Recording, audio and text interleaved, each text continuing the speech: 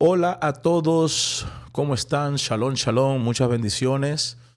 Estoy muy feliz de llegar a cada uno de vuestros hogares porque este día tengo una impartición muy especial para cada uno de ustedes eh, relacionada con lo que vamos a vivir en los próximos días. Señores, estamos solo a días de experimentar eh, uno de los días más maravillosos e impactantes de toda la humanidad. Es el día de Rosh Hashanah, eh, técnicamente conocido como el Año Nuevo eh, judío, pero es, un, es, el año, es el cumpleaños de, de, de la humanidad, es el cumpleaños de la humanidad. Eh, también conocido como el Día del Juicio.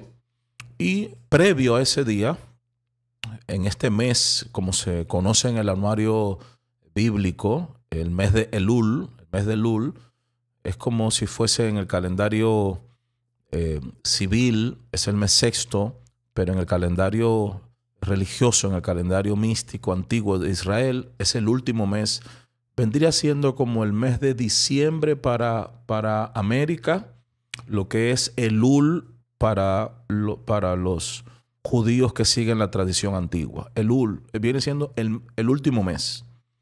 Así que toman una serie de precauciones, de preparaciones, de entrenamiento antes de entrar al año nuevo, a, a Rosh Hashanah, la cabeza de año, porque es un día muy impactante. Y yo quiero comunicarte algunas de esas cosas para que tú también puedas tomar precaución y conectarte con las bendiciones que hay activa para estos días en este mes de Elul. Ya te voy a decir de qué se trata. Mientras tanto, recuerde que nuestras membresías están funcionando en soyhamashiach.com, donde estamos teniendo diferentes paquetes, donde la gente puede tener mentoría privada con nosotros. Estoy teniendo 10, 8 mentoría diaria eh, también con el pastor Ariel y, Ivana. Eh, estamos haciendo, realizando el árbol de la vida. Tienen acceso a todos los videos de la escuela Hamashiach, a los cúpulas de hierro que hemos dado en las naciones, una impartición privada cada semana para esas comunidades, meditaciones semanales para esas comunidades. Es una cosa bien poderosa. Y tú te puedes suscribir en Soy Hamashiach y te va a salir el, el, el link de inscripción. Y Recuerde que este año tenemos tres celebraciones de Rosh Hashanah, miércoles 2 de octubre en el auditorio de San Bill, en Dominicana, en Santo Domingo. Miércoles 2, cayendo la tarde, comienza Rosh. Comenzamos a las 7 en punto. Al otro día, el jueves 3, estamos en Florida, en West Palm Beach. Ya tenemos dirección. Eh, sigue la celebración de Rosh y en el cierre de Rosh es el viernes y lo vamos a hacer a las 11 de la mañana. Está soldado ya en Cuba, porque Rosh termina a las cayendo la tarde del viernes. Entonces vamos a todavía estar dentro de la energía de ese día y el viernes 11 de la mañana estamos allá en Cuba, así que tenemos tres celebraciones. Vamos aquí, Señor, el día de hoy. En ese día tan importante como es el, el miércoles 2 de octubre de nuestro calendario, eh, ¿Qué hace el pueblo de Dios en este mes de Lul, que es el mes previo? Primero, ¿qué es el mes? ¿Qué significa el Lul? Vamos a comenzar. Ya le dije que en el anuario bíblico es el mes sexto. En la tradición antigua es el mes 12, es como el mes de diciembre. Y voy a hablar unos secretos de este mes. Voy a hablar unos secretos de este mes. Mientras tanto, voy a leerle unos versículos que están en Shemot 34, Éxodo 34 que están relacionados con este mes. Es decir, cuando esta conversación entre Hashem, Dios, y Moisés está ocurriendo, está ocurriendo en el principio del mes de Lul. Por eso hay que conocer qué pasó aquí. Entonces lo voy a leer. Mire lo que dice Éxodo 34. El Señor le dijo a Moisés, alístate dos tablas de piedra como las primeras. Ya se habían roto las dos primeras tablas, ¿ok? y escribiré sobre estas tablas las palabras que estaban en las tablas primeras que tú quebraste. Prepárate pues para mañana, le dice Dios. Sube de mañana al monte de Sinaí, preséntate ante mí en la cumbre del monte. No suba hombre contigo, ni perezca alguno en todo, en todo el monte, ni oveja, ni bueye, pasquen delante del monte. Es, límpiame el monte, que voy a tener una reunión contigo, Moisés. Límpiame el monte. No quiero oveja, no quiero bueyes, no quiero caballo. Quiero que me limpie y sube tú solo, que tú y yo vamos a tener un conversado, como me decía mi mamá. Mi mamá me llamaba a veces en el trabajo, se enteró de algo raro que yo hice y me decía, espérame en la casa, que tú y yo vamos a tener un conversado. Usted puede imaginar cómo eran los minutos antes de esa reunión, Dios mío. Moisés alisó dos tablas de piedra como las primeras, dos tablas de zafiro, y se levantó de mañana y subió al monte como le mandó el Señor y llevó en sus manos las dos tablas de piedra. Moisés dijo, aquí estoy. Me citaron. El Señor descendió en la nube y estuvo allí con él. Entonces Moisés apresurándose bajó la cabeza al suelo y adoró. O sea, cuando Moisés, tú no quieres saber todo lo que pasó ahí, eso está ahí, lo puedes leer despacio. Eh, voy a volar porque ahí pasaron cosas extraordinarias, truenos, relámpagos, esto, lo otro. Bueno, Moisés baja la cabeza hacia el suelo, adora y le dice, Señor, si he hallado gracia ante tus ojos, vaya ahora el Señor en medio de nosotros, porque es un pueblo de dura servir. Perdona nuestra iniquidad y nuestro pecado y tómanos por tu heredad. Es decir, Moisés está diciendo, mira, tú nos estás enviando a un propósito, pero yo necesito, así humillado delante de él, yo necesito que si tú me amas de verdad, si tú tienes misericordia de mí, ven con nosotros. Este pueblo es reverde. Cuando dice de dura servir, este pueblo es rebelde. Este pueblo es complicado. Por eso rompí las dos tablas hace ratico. Ayúdanos, hermano. O sea, yo quiero cumplir la misión que tú me estás mandando, pero esta gente son complicados. Y Dios le dice, ten paz. Yo hago pacto contigo delante de todo este pueblo. Haré maravillas que no han sido hechas, escucha, no han sido hechas en toda la tierra ni nación alguna. Y verá todo el pueblo en medio del cual estás tú la obra que Dios hará, porque será cosa tremenda la que yo haré contigo. Mm. O sea, Dios le está diciendo, acepto tu reto. Yo perdono sus iniquidades, pero levántate de ahí sin miedo, porque voy a hacer cosas delante de ese pueblo. Haré unas maravillas que no existen. Esto está ocurriendo en el mes de Lul, antes de Hashanah. El Lul, que comenzó, sabes que tenemos un cruce de calendario, el 4 de septiembre de este año. era el primer día de Lul. Aunque usted conoce aquí septiembre, en nuestro calendario gregoriano es el mes décimo, ¿verdad? No, décimo no, noveno, septiembre. Aquí es el último mes en, el, en la religión, en la tradición antigua, porque en la tradición moderna es el sexto mes, ¿ok? Y termina, ¿cuándo termina esto? Termina exactamente el 1 que después le voy a explicar, si, si me animo a decirlo aquí, lo que usted cree que fue un chiste, coincidencia de que el presidente Nicolás Maduro decida cambiar la Navidad para el 1 de octubre. Está bien, está bien. Yo sé que usted fue con un chiste, no es un chiste. Hay movimientos espirituales de alto calibre ahí, pero no sé si este es el contexto para yo hablar. Así que comenzó el 4 de septiembre, vendría siendo el primero de Lul, y se acaba el 1. El 1 de, eh, de octubre. El 1 de octubre. Comienza el mes de Tisrei. Hoy es el día 18 del mes de Lul.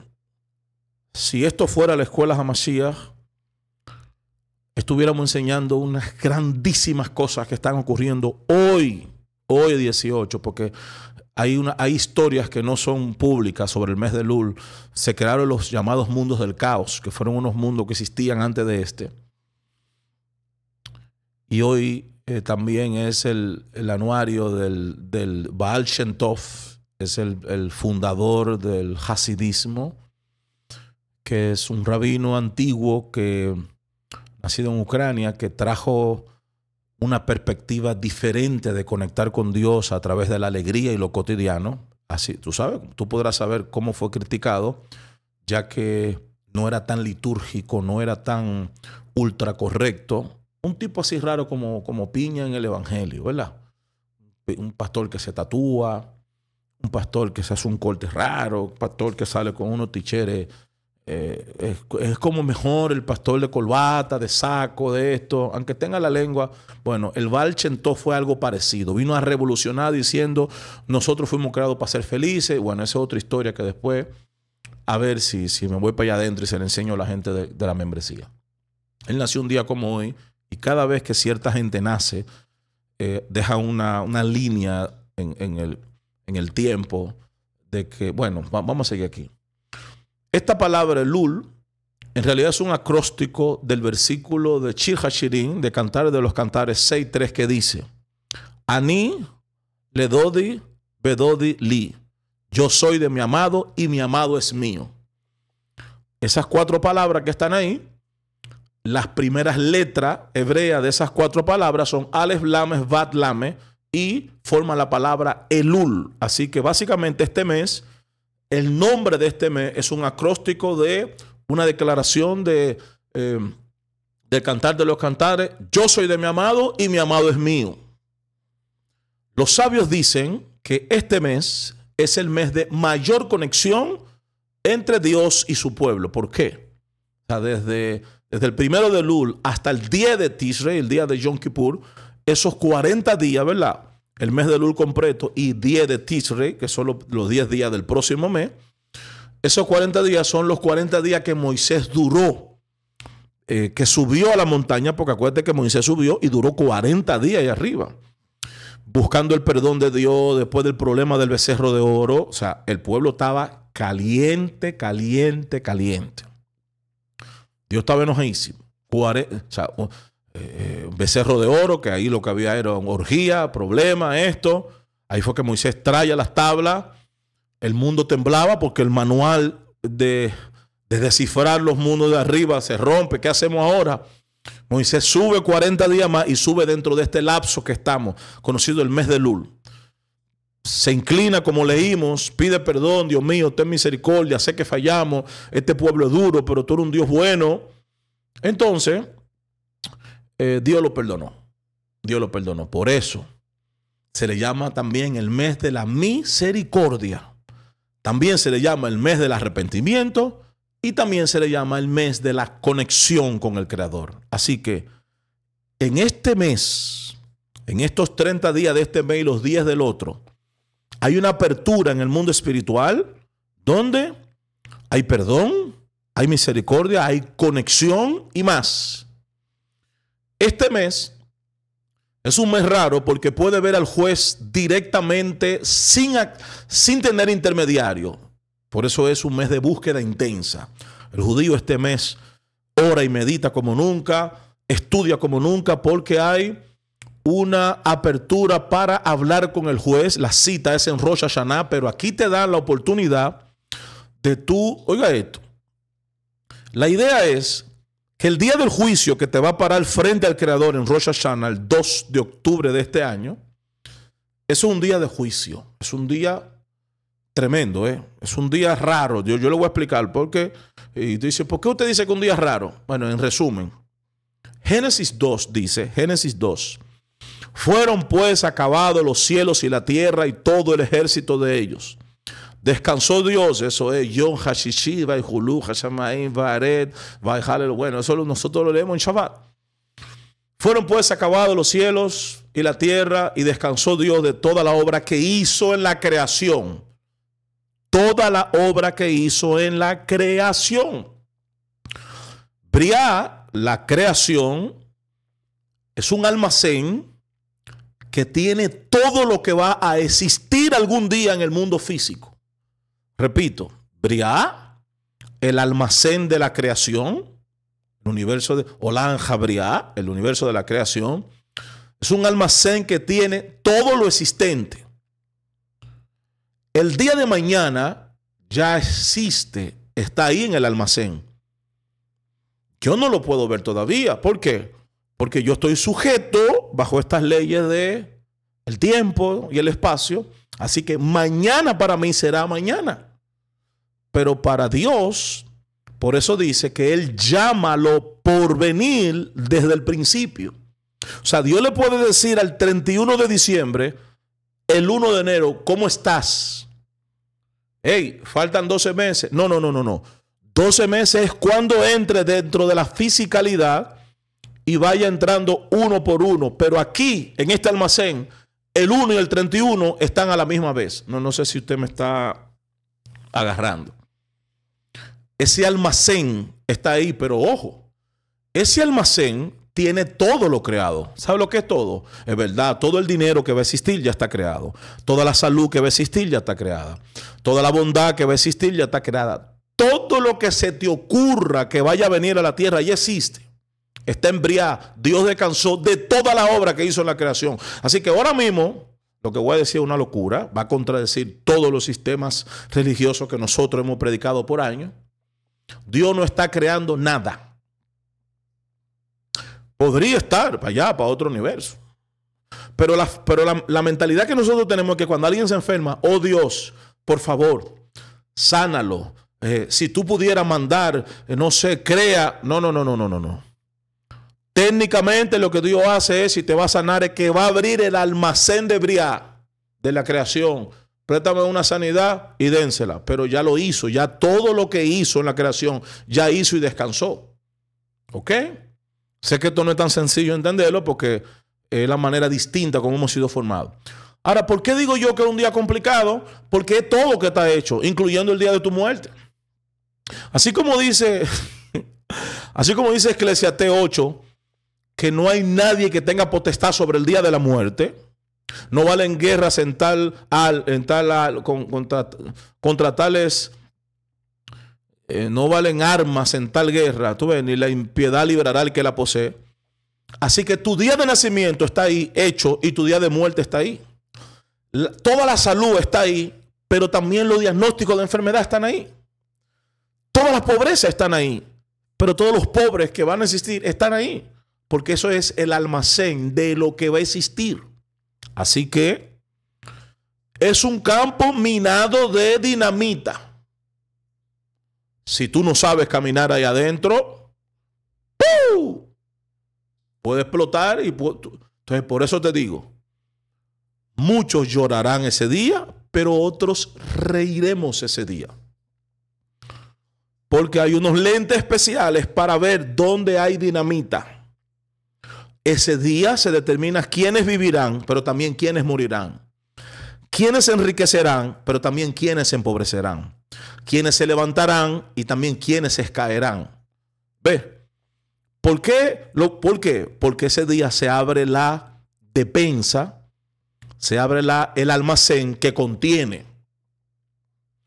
Hay otras cosas que es para explicarle el primer día, el, día de Rosh Hashanah. No puedo explicarla ahora porque usted tiene que llegar. Por eso es un día sagrado. Donde usted viva, coja un avión y vuele.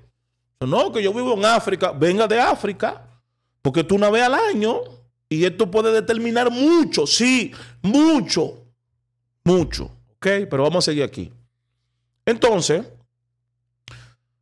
este mes, estos días, antes de esa cita divina con el rey, a ver cómo me va ahí en el diagnóstico, es donde nos preparamos, donde tenemos los encuentros preliminares, nada más y nada menos que con el juez. O sea, ¿te imaginas hablar con el juez y tratar de convencerlo de que tú eres un ser humano nuevo? De que tu conciencia es distinta. Señores, hay casos, atención, eh, atención, mucha atención. Hay casos que yo garantizo que si el juez pudiese tener 30 días de compartir con, con el acusado antes de escuchar los testimonios de los vecinos, hablar con él, verificar sus cuentas bancarias, verificar su manera de generosidad, verificar su lenguaje, verificar su estudio. El día del juicio puede haber un cambio en el, diagnóstico. Y dice, espérate, es que no es, esto no es que yo me pare hoy y me presentan un delincuente. Yo tengo 30 días hablando con este pana. Yo estoy viendo otra cosa. déjame examinar bien esto. Eso es el mes de Lul. El mes de Lul es decirle, nos vamos a encontrar cara a cara el, día de Rosh Hashanah. Nos vamos a ver ahí. Pero déjame enseñarte qué es lo que yo quiero. Déjame tratar de enseñarte que tengo un corazón quebrantado. Déjame tratar de demostrarte cuánto yo deseo de hacer las cosas correctas. ¿Cómo va mi altruismo? ¿Cómo va mi lengua? ¿Cómo así tu lengua? Tu lengua. Es decir, dependiendo tu nivel, como tú uses la lengua, es lo que se te va a entregar ese día. O látigo o, o depósitos de cosas buenas. Por eso este mes es vital, el UL. Entonces, eh, Maestro, ese día fue creado Adán. No, no, ese fue el día que Adán lo pusieron en Edén. Vamos, vamos, vamos a ver, no sé cómo ilustrar este asunto. Adán fue, fue ideado en Atzilú, en otro, en otro nivel, ¿verdad? Y el mundo físico, el mundo creado, yo no le quiero llamar físico, yo le quiero decir creado. Ya en Bria, en la creación, ya el tiempo existe que dentro de la creación hayan tiempos distintos. Claro, lo vemos ahora. En Seattle tiene tres horas de diferencia de aquí. Israel tiene siete horas de diferencia. A mí me pasó algo con el gordito hace poco impresionante. Mi, hijo Giolai me lo llevé para Ibiza y allá cumplió años primero que aquí. O al revés. El asunto fue que tuvimos dos maneras de percibir el cumpleaños. Entró, porque estaban a siete horas de diferencia. Yo creo que allá fue primero. Entró feliz cumpleaños, mi hijo, bla, bla, bla. Volamos inmediatamente y cuando llegamos a Florida, el cumpleaños o iba a venir o ya había... Era algo que, que los dos... Vio dos fechas en un lapso de siete horas. Entonces, Adán, cuando lo crean, aparece en la creación, abre los ojos, que probablemente fue allá en el monte del templo, ¿verdad? Donde está, es otro tema, y llegó adulto. Cuando abren esa dimensión para meter a Adán aquí adentro, cuando abren, no se complique, póngase que lo que entró por ahí fue el alma, porque lo formaron del polvo de la tierra, lo que usted quiera. Pero ese ser que vino de otra dimensión, hubo que abrir la dimensión creada, la dimensión donde ya hay tiempo y espacio, para entrar un proyecto que viene de un lugar donde el tiempo y el espacio no existen. Si alguien vio la película, la serie Dark, Dark, esta serie habla como de cruzar a otra dimensión. Hay alguien que descubre un portal, pasa a otra dimensión y en otra dimensión hay otro tiempo, otra manera de ver la vida, otro todo. Cada vez que abrían ese portal en la serie Dark, está yo creo en Netflix, si lo abrían de este lado, morían las aves que iban volando. La luz se iba caía un rayo. Ellos lo ilustraron así. ¿Qué es lo que están tratando de decir? Tú estás abriendo un portal a otra realidad. Ese choque de polaridades. ¿Cuál polaridad? La hora de aquí, el tiempo de aquí, con el tiempo y la hora de otra dimensión, ¡pum! creaba una situación. Y era de que morían animales. Así que el que sabía decía, abrieron el portal. ¿Por qué? Se fue la luz, cayó un rayo, murieron. Esto. ¿Pasa eso? Yo no sé. Yo lo que sé es que cada vez que abren ese portón, también el mundo judío descubrió que no se mueren peces, pero pasan cosas raras. Yo digo que es el choque de las polaridades.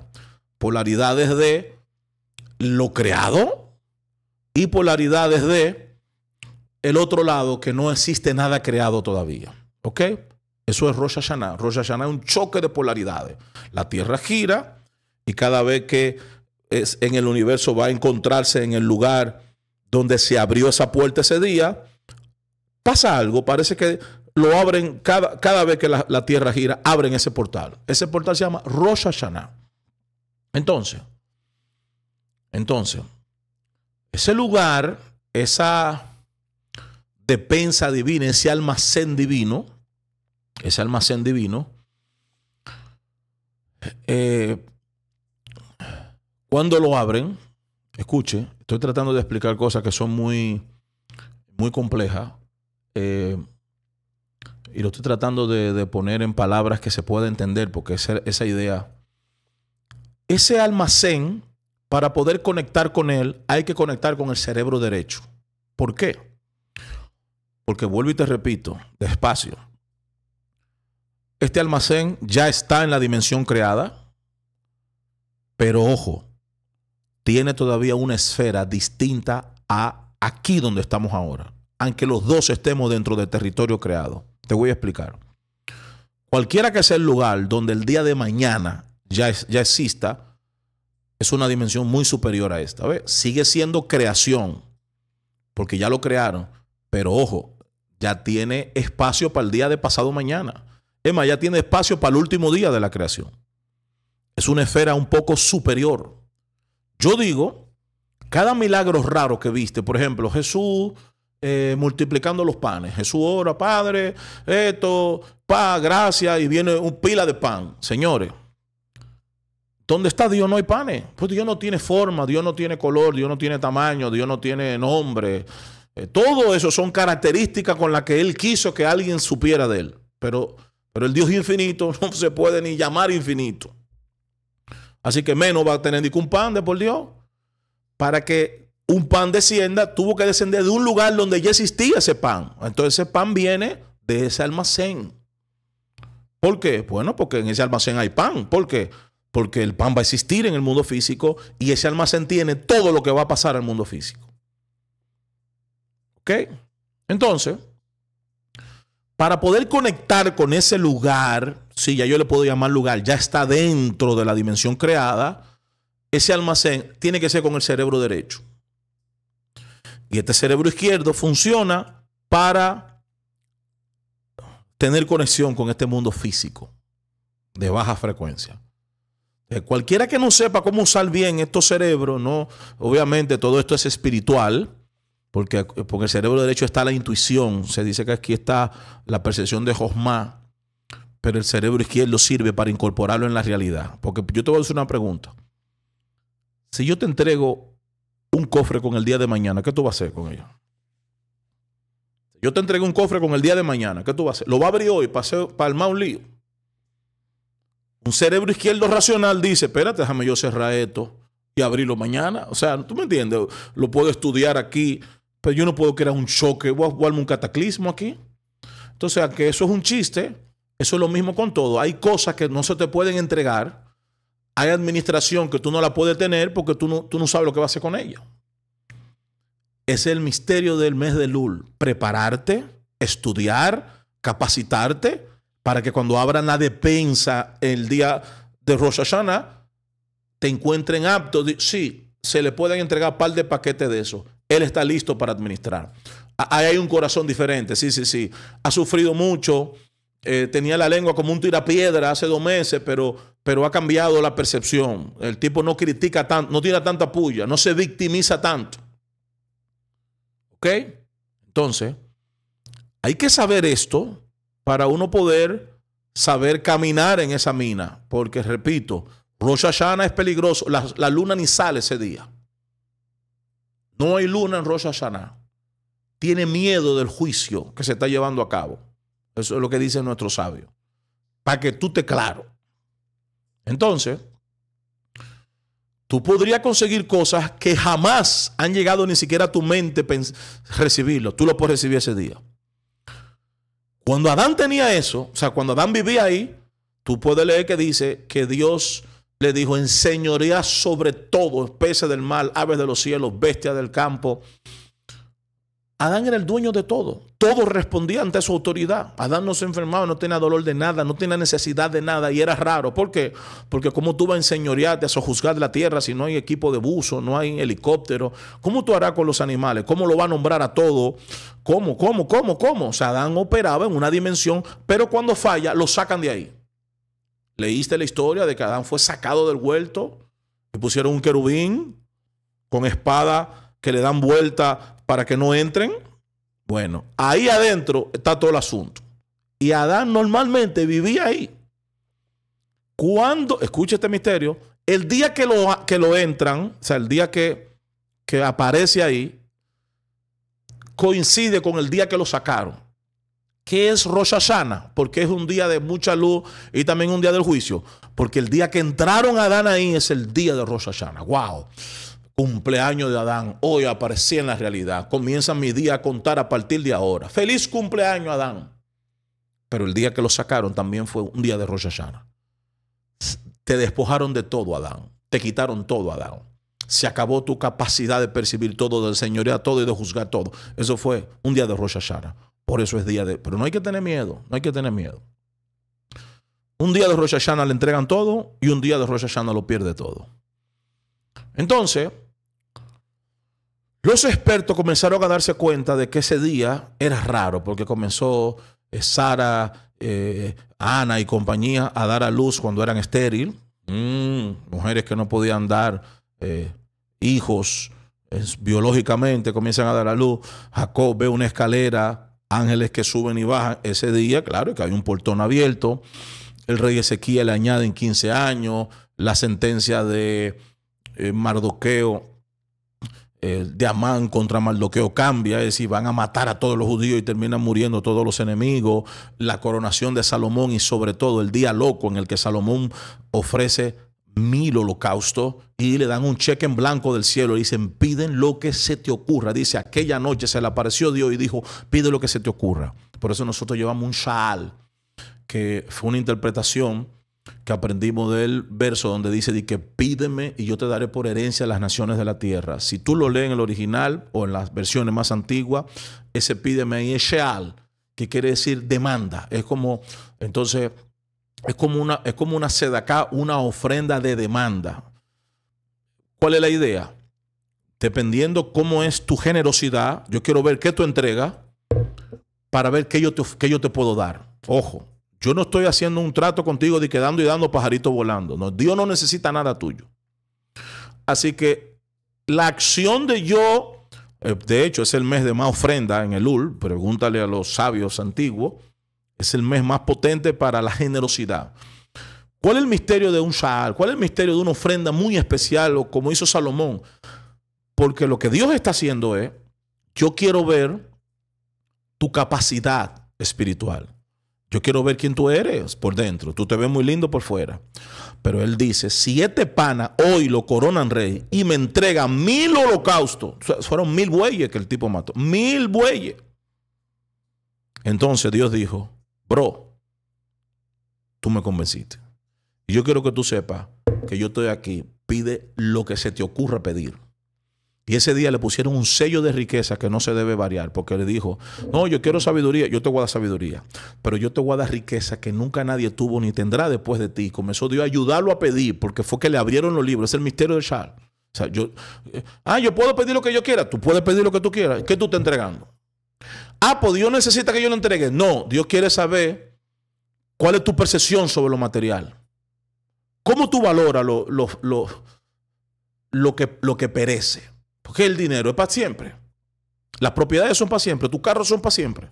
Tu casa es para siempre. No, ok, tú estás consciente de que nada en este mundo es para siempre, lo dijo Pablo, no mirando las cosas que se ven, que son temporales, todo lo que se ve es temporal, ok.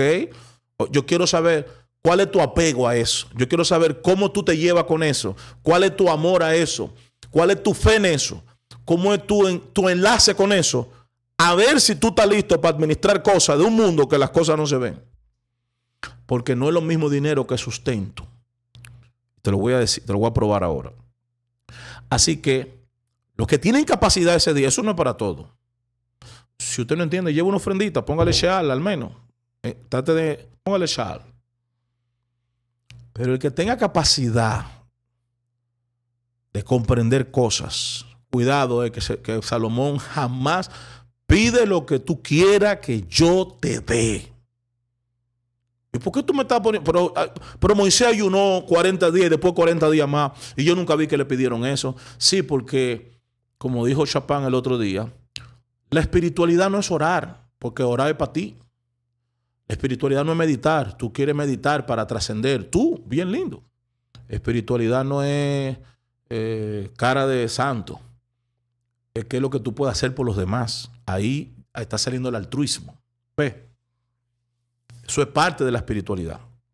Entonces, comenzaron a darse cuenta, coronación de Salomón, sentencia a favor de Marloqueo cambiada, el rey Ezequiel le añaden años, la escalera de Jacob, nace Isaac, bla, bla, bla. ¿Qué es lo que está pasando aquí? Bueno, como Dark, abren el portón.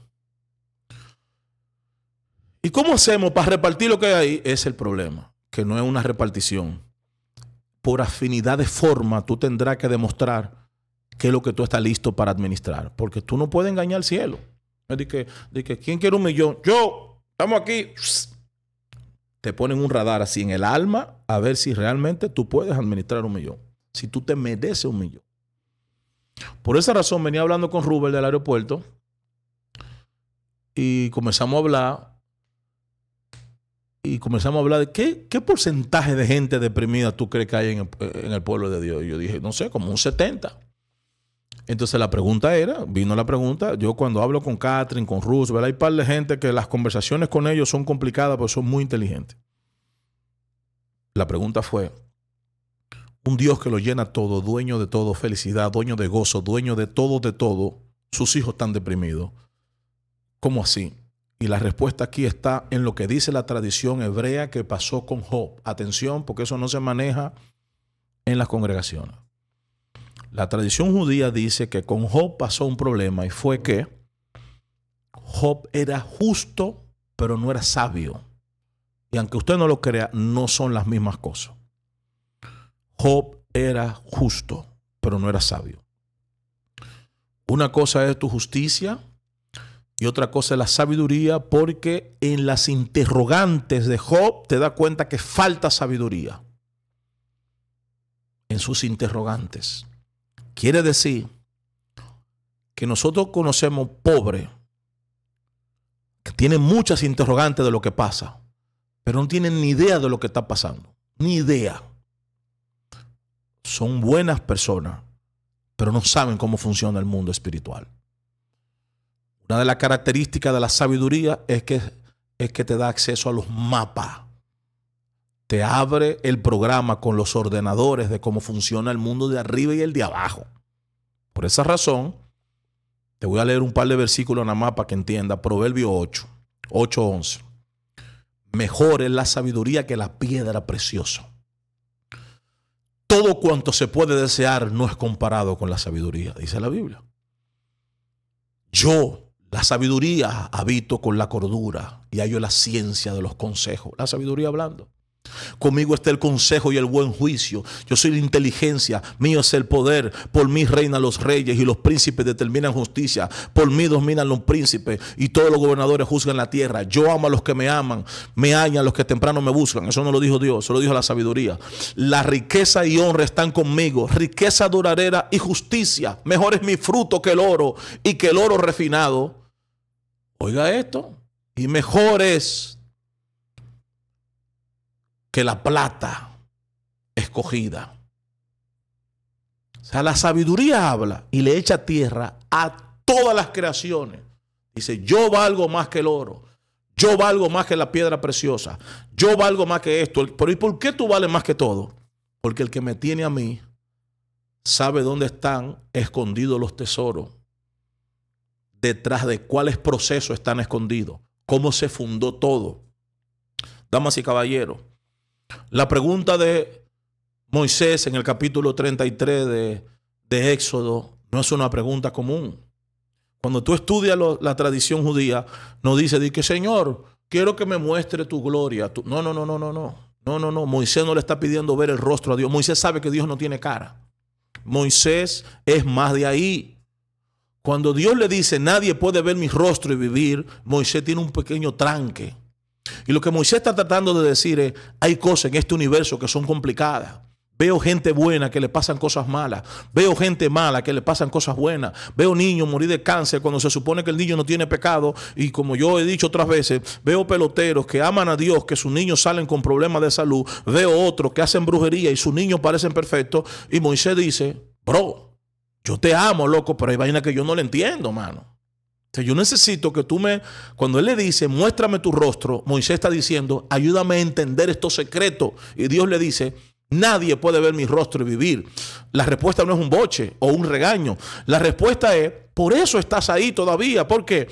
Porque las emociones que tú estás registrando en medio de todo esto, las necesitamos para armar el Adán caído. Es decir, vive, sencillamente vive, trata de crecer cada día. ¿Por qué? Porque por eso fue que sacaron a Yeshua. La gente que, que descifró, el, el Arí murió a los 38, Yeshua a los 33. ¿Por qué? Porque Yeshua está parado frente a Pilato.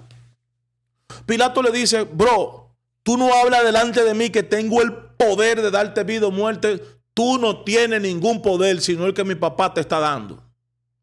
¿Cómo así? Pilato, tú no eres mi enemigo, tú eres un actor de película celeste. La pregunta es, ¿qué tú haces en la tierra, bro? Tú no deberías estar ahí. Si tú sabes lo que... Él mira todo, maestro, vamos a estar contigo. Todos ustedes se dispersarán como ovejas y me dejarán solo, pero yo no estoy solo, el Padre está conmigo. No, yo, tú me vas a negar, pero tranquilo, eso es un plan que tenemos. Y tú, tú eres el, tesorero de aquí, pero tú eres un ladronazo. Tú no estás supuesto a saber eso. Tú estás supuesto a sentirte traicionado cuando Judas te entregue, como no hemos sentido nosotros, con gente que le hemos dado hasta nuestra vida, nada más nos faltó darle nuestra vida, y vemos cómo responden ante nuestras oscuridades. Vemos cómo difaman, cómo calumnian, cómo tiran indirecta. Tú estás supuesto a llorar como yo he llorado. ¿Dónde le fallé a esta gente? ¿Cuándo fallé?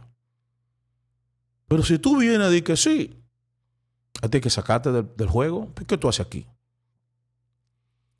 La sabiduría es un factor dentro de tu alma. Dios mío, esto es una locura. Oiga que dijo, Dios puso eternidad en el corazón de ellos, sin que el hombre, oiga esta definición, eso está en mi libro, Eternidad por dentro, alcance a entender la obra que Dios ha hecho, desde el principio hasta el fin. ¿Oíste eso de nuevo? Dios puso eternidad en el corazón del hombre sin que el hombre alcance a entender la obra que Dios ha hecho desde el principio y hasta el fin. ¿Para qué sirve la eternidad? Para comprender desde el principio y hasta el fin. ¿Por qué? Porque si comprendo el principio y el fin, me evito sufrir en el ahora. Si yo soy José, yo soy José, y mis hermanos me están envidiando y me están vendiendo una compañía de Ismaelita. Y la mujer de Potifar me, acusa que yo la quería violar. Pero en cada uno de todos yo sé lo que va a pasar. Di que, di que hermanos, wey, wey, miren mi túnica. Y dentro de mí, ahora ocurre el momento donde le da envidia en mi contra. Un narrador. Pa, pa, pa, le da envidia, lo venden. Ja, ja, ja. Ahora de la nada aparece un ismaelita y me compra y me llevan a la casa de Potifar. Espere para el próximo capítulo. Ahora ocurre de la nada que la mujer de Potifar se aficia de mí como el diablo, pero como yo no le hago caso, se llena de despecho y me tira adelante diciendo que yo la quería violar. Pa, ocurre, ja, ja, ja, ja. Llega el momento donde el hombre cae preso y dura 13 años, algunos dicen 17 años preso, sin haber hecho un carajo de nada. Llega el momento donde lo llevan al palacio y lo hacen el administrador de todos los alimentos de la tierra y lo ponen segundo al mando y después, según algunos historiadores, reina 40 años más, dura siendo regente de Egipto tanto tiempo, pero él sabe todo. Así no, loco, así no. No. Así no se puede. La sabiduría, eh, por eso la sabiduría, por eso, para, para que tú lo, para que tú leas en la Biblia que diga, para que tú leas la Biblia, no sea demasiado sabio. ¿Por qué ha de hacerte daño?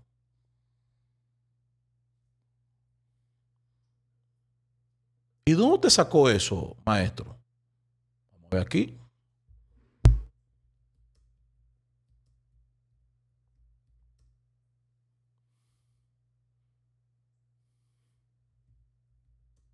¿Y dónde te sacó eso? No sea demasiado justo. Eclesiastés 7:16. Ni sea sabio con exceso ¿Y por qué? ¿Por qué? Vamos a leerlo completo. No sea demasiado justo, ni sea sabio con exceso. ¿Por qué habrá de destruirte? ¿Alguien te explicó algún día ese versículo?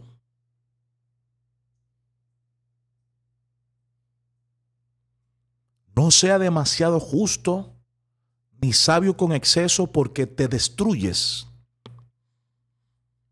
Oye, el, o el, chiste no es ser justo y volverte sabio. Oye, oye, la Biblia nos dice, pida sabiduría y el que no tiene, pídala a Dios que da abundantemente y sin repro O sea, no me están diciendo que me llene de sabiduría y la sabiduría hablando dice, el que me busca desde temprano me halla y bla, bla, bla. Y ahora tú me estás diciendo que si soy muy sabio me destruye, porque el chiste es que si se te descifra todo el juego, hay que sacarte de aquí. Porque se supone que la emoción que tú estás registrando dentro del juego es el chiste. Por eso cuando lloro, río. El que tenga oídos para oír, que oiga. He llorado en esa habitación y llorando me río. Lloro cuando me observo. Lloro cuando creo que me han traicionado y río diciendo, me lo tengo que vivir porque es parte del plan y si no lo sufro me sacan.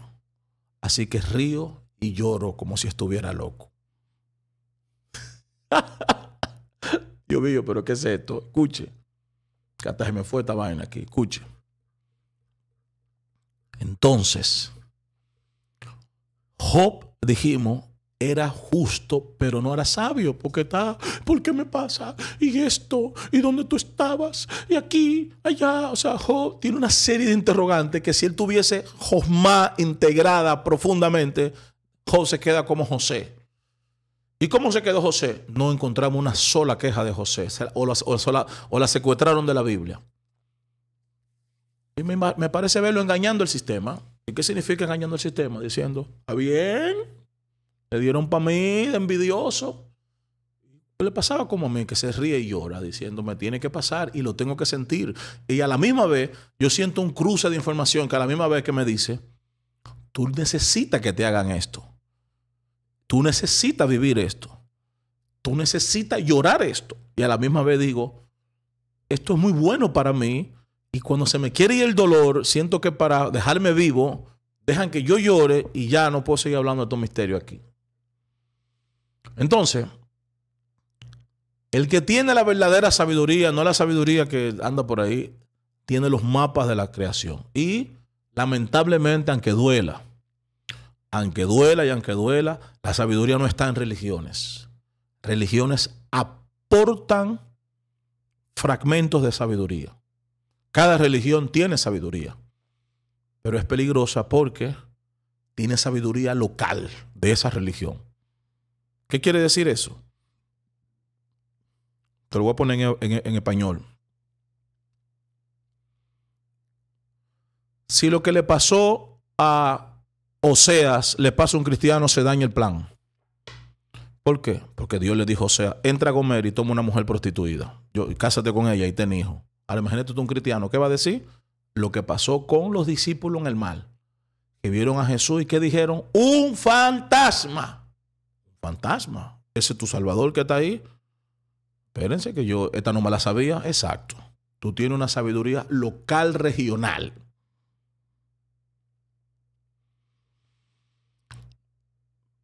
Esa situación se da, estoy hablando de un misterio aquí que no sé si, por la guerra entre Neshama y Ruach. Yo he hablado de eso otras veces. ¿Qué significa esto? Tu Neshama, tu parte superior, tiene el mapa de todo. Tu Ruach está condicionado porque este Ruach es mi personalidad. Se llama Jonathan Piña, nación dominicana, idioma principal español, formado en el Evangelio, escogidista, seguidor de los Bravos de Atlanta, le gusta la música electrónica, etc. ¿Qué quiere decir? Que lo que sea que tenga el mapa de mi destino, que tiene mi parte superior, va a chocar con el dominicano, el español, etcétera, etcétera. Así que, ¿quiere un poquito de esta guerra? Pedro. La necha más de Pedro dice, Pedro, tengo el mapa y hay un proyecto. ¿Y cuál es el proyecto? Te estoy mostrando unos animales, vaina, camarones, langosta, estoy parafraseando, cerdo, sí. Levántate, mate y come. Eso está diciendo la Nechamá de Pedro. Levántate, mate y come, loco, date unas alturas. Aparece el Rúa de Pedro Judío, dice, no, es que imposible, así no. ¿Cómo que no? Bro, yo soy judío, yo nunca he comido una vaina de esa, jamás. Cuidado, si esto es un gancho, reprendo al diablo. Nunca yo he comido animales impuros. Entonces viene la leche más de arriba, bro, por eso razón que que la mayoría de veces que tú creías que era Dios que te estaba hablando, Dios nunca te estuvo hablando. Probablemente fue tu yo cuántico superior que siempre estuvo hablándote, pero ese es otro tema. Así que le dice, bro, no llame impuro a lo que yo he limpiado. Y cuando se despierta, tiene que haber un juego entre Neshama y Rúa arriba. ¿Para qué? Para que cuando Pedro desciende abajo, entonces viene un gentil ya habría que explicar cómo ven los judíos, los gentiles. ¿Te acuerdas aquella vez el mismo Yeshua diciéndole a una gentil, maestro, dame un milagro, no puedo agarrar el pan de los hijos y echárselo a los perros? En español, para nosotros ustedes son perros. Eso era el maestro, imagínate todo el alumno. Así que Pedro ve un gentil que viene y dice, ¿y este quiere? No, que yo oí un ángel que me dijo que tú tenías un mensaje para mí. Y Pedro se queda mirando le dice, anda ya, ahora entiendo todo. ¿Te das cuenta? Ahora entiendo que Dios no hace asesión de personas. ¿Sabes lo que quiere decir eso? Hubo que expandirme primero para que cumplamos este detalle tan simple. ¿Y cuál era tan simple? Háblamele a Cornelio del Evangelio. Dímele un par de cosas Cornelio, que Pedro no se iba ni a molestar si no le hacen el truco de la noche entera convenciéndolo para que se tranquilizara. Lo mismo le pasó a Jesús de Nazaret, al maestro bacano. Claro, la Neshama viene a decir, vamos a hacer un asunto que va a estremecer el planeta Tierra, eh, siriano. ¿Cómo así?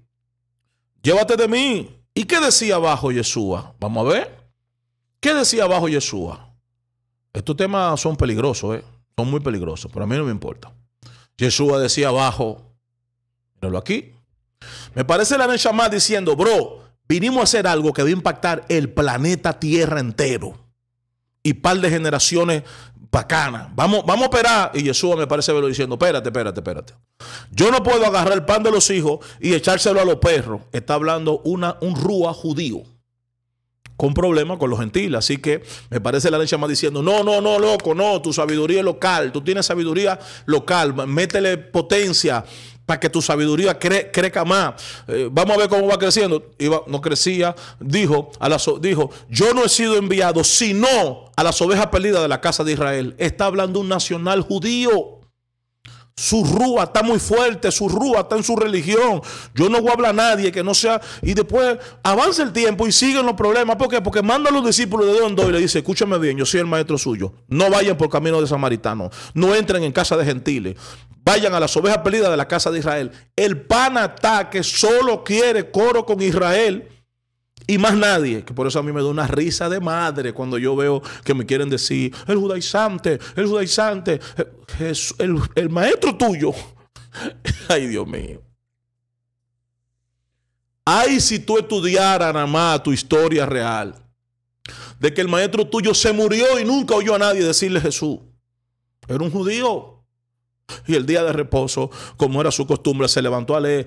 Iba a guardar los Shabbat a la, a la sinagoga. Y circuncidado, le circuncidaron su miembro viril como un judío. Yeshua nació, vivió y murió como judío. Y tú me acusas a mí de judío. Ya pendejo tú. A la hora, escuche esto. Sana uno y cuando lo sana le dice, ve, preséntate a donde el sacerdote conforme a la ley de Moisés. Es un judío pero, pero ultra ortodoxo. No ortodoxo, no. Ultra ortodoxo, sí, de los sombreros largos. Pero ¿qué pasa después?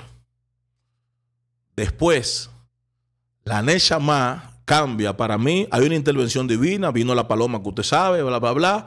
Y después, tú lo oyes hablando, dice, como Moisés levantó la serpiente en el desierto. Así será levantado el Hijo del Hombre para que todo aquel que en él crea no sepa. ¡Ah! Usted no me está agarrando. Ahora todo aquel, pues tú me estás dando una lata, loco, de judaísmo desde el día uno hasta ahora. Entonces Pablo dice, yo deseo que tú seas prosperado en todo, así como prospera tu alma. ¿Por qué yo te estoy diciendo todo esto? Yo te estoy diciendo todo esto porque estos días tienen que ver con esto. Misericordia del Creador, pero hay que tener un cuidado no hagas juicio de ti mismo, no te maldigas. De aquí hasta Rosh Hashanah, no lo debería hacer nunca, pero no te maldigas. No te acuses tú mismo. Dependiendo tu nivel de conciencia, llama a tu abogado. Ustedes saben, tiene un abogado muy potente, Yeshua de Nazaret. No tiene contacto con Yeshua. No te acuse. No te maldigas. Sé generoso. Sé generoso. Perdona a todos y pide perdón. Perdona a todos y pide perdón. Capacítate lo más posible. Porque viene un día complicado donde te va a parar en un evento y aunque el evento ayuda, porque tú no te imaginas cómo la energía de ese evento ayuda. Ahí hay un 25% de, de lo que van, que tienen un, un asunto adelantado. No te dejes provocar. Ese día es un día de mucho conflicto. Pocos días de todos los Rosh que yo he celebrado tienen más impacto que este día, por eso estoy tenso. El presidente Maduro ordena que comencemos a celebrar Navidad a partir del 1 de octubre. Todo el mundo cree que es un chiste. Van como los piratas del Caribe. Después yo te voy a explicar ese día de qué se trata. Créeme que va a estar con brujos activos para, para tratar de participar de la transferencia que va a haber. Y si tú no sabes cómo opera el mundo espiritual, te roban cosas que te corresponden a ti. Así como tú lo estás oyendo. Eclipse solar anular ese día. Es un día completamente... Hay que saber cómo se opera ese día. Hay que saber qué va a pasar, cómo se va a actuar. Y mientras tanto, hasta que te lo pueda explicar, ya tengo que terminar. Nada más te quiero decir una sola cosa. En Israel había una tribu cada una de las tribus tenían su función. Hay una que está en Primera Crónica 12 que dice, de los hijos de Isaacar saca 200 principales que son entendidos los tiempos, que sabían lo que Israel debía hacer, cuyo, dicho seguían todos sus hermanos. Una de las tribus de Israel, su única función era ser, de GPS. ¿Por qué? Porque conocían los tiempos. ¿Y porque hay que conocer los tiempos? Porque Eclesiastes 3 dice, todo tiene su tiempo y todo tiene, todo lo que se requiere debajo del cielo tiene su hora. Voy a dejar esto y me voy.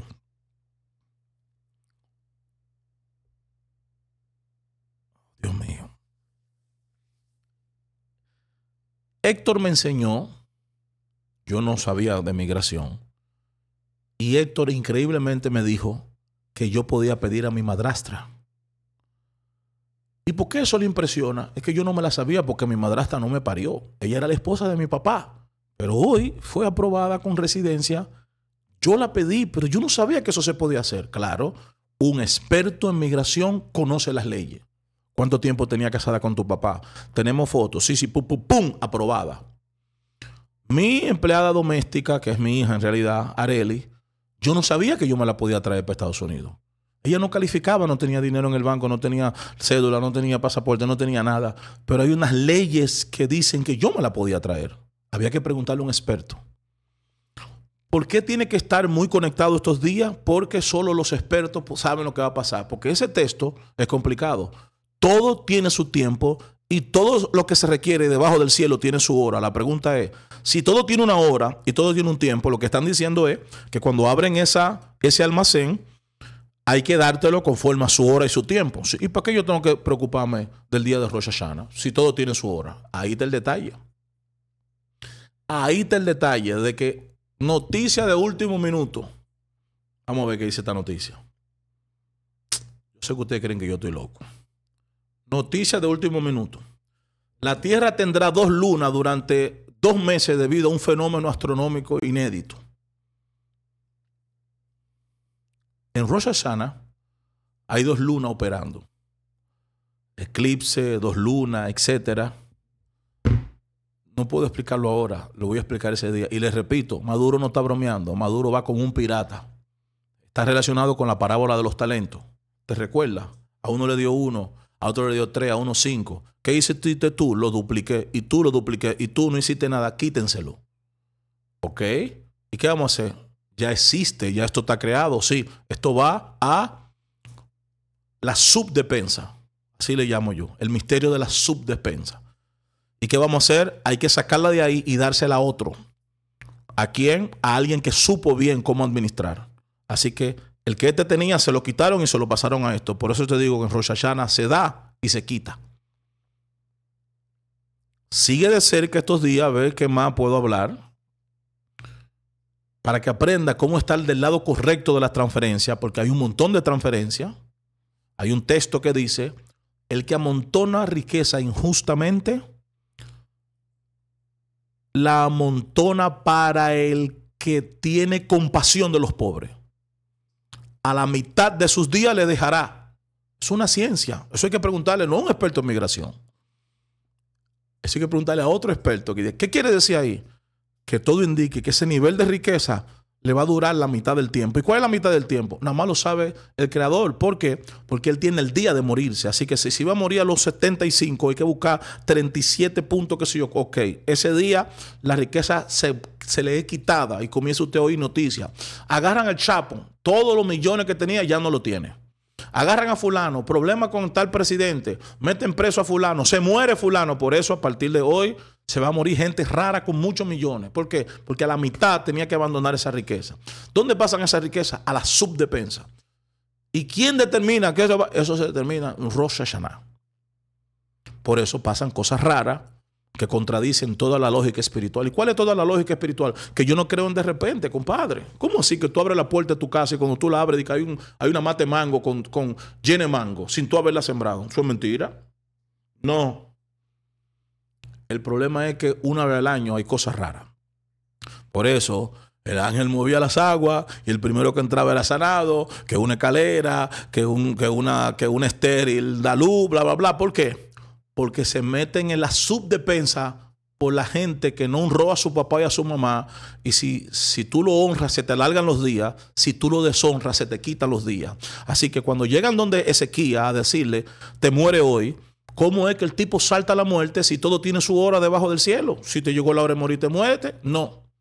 Abran ahí y busquen. Ahora hay que darle 15 años más. Y mi pregunta es, ¿y a quién le vamos a quitar esos 15 años? Si ya está, si lo que pasa es que hay gente. ¡Ah!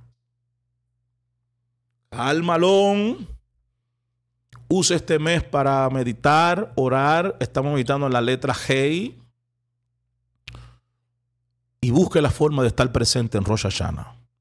A meditación en vivo. Esta semana voy a hacer unas meditaciones con Ezequiel antes de Rosh Hashanah, muy importante. Debe ser martes como mucho, eh, máximo martes o miércoles. Vamos a tener una transmisión donde vamos a meditar porque hay que llegar sano de trauma. No puede llegar traumado a Rosh Hashanah. Puede llegar, pero ¿qué es lo que te pueden entregar estando traumado? No estás listo para administrar cosas grandes. Entonces nosotros queremos hacer todo lo posible para que tú entres en un estado de liberación, de sanidad, de victoria, de expansión, etcétera, etcétera. Muchas gracias a todos. Vamos a seguir en la próxima semana con esto. Shalom, shalom a todos. Un detalle importante. Em, los socios del cielo necesito que participe con nosotros en la elaboración de Rosh Hashanah. Estamos haciendo estos eventos gratis hay más de 25 mil dólares para realizar todo esto. Y lo vamos a hacer aunque tú no me ayudes. Pero te quiero dar la oportunidad de que nos ayude. ¿Ok? Tú conoces los medios de, no sé, alguien que lo ponga aquí en el chat. Cómo tú puedes dar un acá y ponle socio Rosh Hashanah. Llévate de mí. Porque nosotros agarramos el chat de Rosh Hashanah no sé si leíste, echa tu pan sobre las aguas y después hacemos una ceremonia en el río que aprendí.